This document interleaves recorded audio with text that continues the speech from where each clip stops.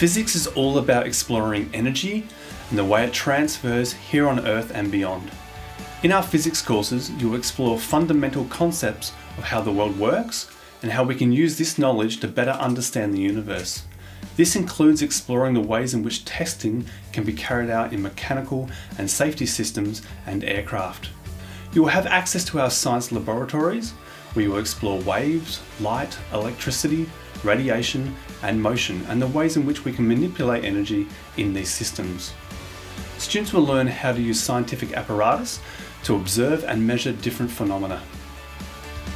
If you are considering a future career in engineering, aviation, astronomy, astronautics, coding, computer science or medical imaging, studying physics is an ideal preparation.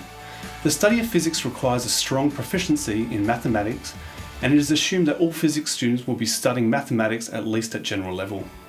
Physics students will complete practical activities, undertake investigations and supervise tasks. Physics starts in Year 10 with a one-term compulsory course, building on the compulsory science subjects from Years 7 to 9.